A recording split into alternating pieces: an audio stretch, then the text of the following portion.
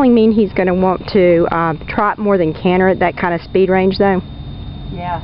That's what I've seen in the ram pen. Absolutely. His chosen gait. Trotting would be so easy for him, yeah. But the thing is, he, this gait, he's got a gaited LS joint placement. That long. That's a long lumbar sacral joint for this horse, lumbar span. That's really long. But look here, there's diagonal. The other thing too is look how his legs are set underneath of him. He's not camped out behind. Um, so that he's got great support underneath of him. So that's also going to incline the femur to act as in a trot situation. Um, but boy, that says gait. There should be, you know, if the opportunity ever came that he went under saddle, it'd be really interesting to see if he ended up doing something like a, um, you know, I, I want to use the Peruvian term paso llano because we're talking with something with Iberian ancestry here.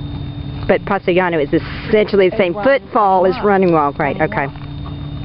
Now, what does it mean because his LS is behind? Gait.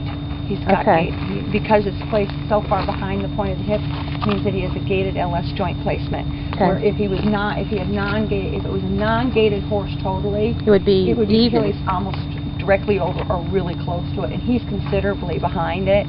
In And what does the length of the dot between the last rib and the LS joint mean? That's your lumbar span. That's the weakest part of the horse's spine. Right, And so that's long in proportion to his overall length. correct. which means it would be e- very easy to hollow him um, and, and bring some lateralness into his body.